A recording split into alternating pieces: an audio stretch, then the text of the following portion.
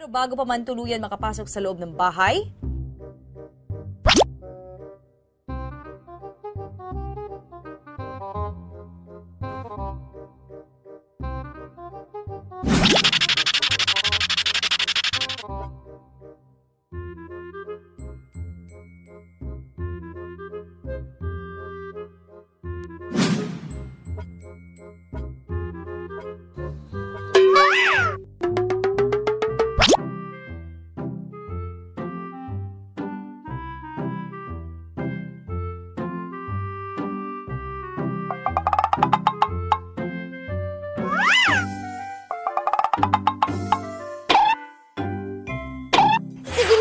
Sige lang, Joaquin!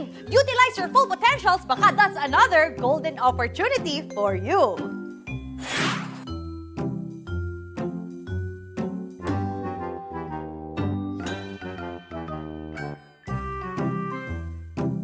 at nang makarating si Joaquin sa pintuan papasok ng bahay,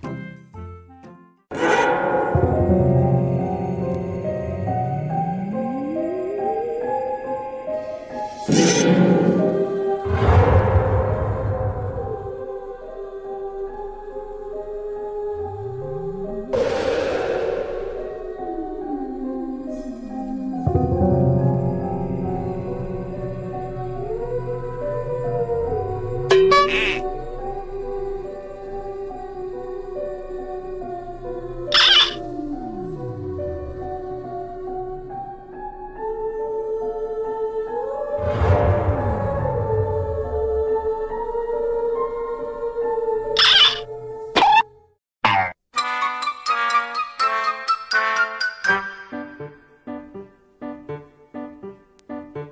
Kasi nung pagpasok niya po kasi hindi namin alam kung ano nangyayari sa kanya dun sa likod ko. Nandun pa kasama niya yung creature.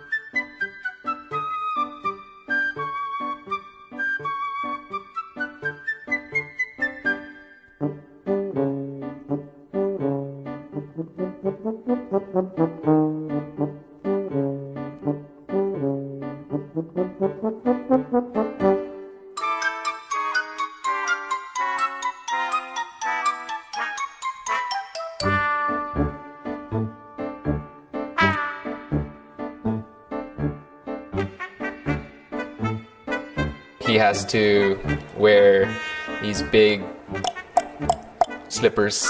And we helped him get inside the house by laying out clothes on the ground so he could walk.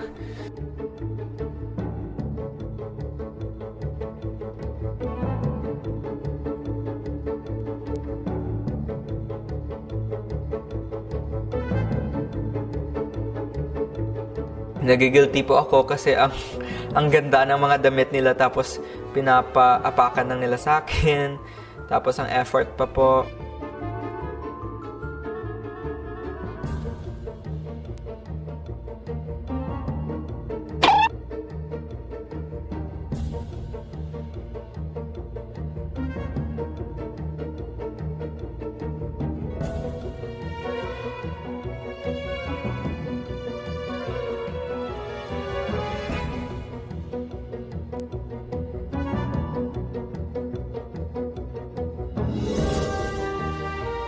Hanggang sa tuluyan ng makaupo si Joaquin.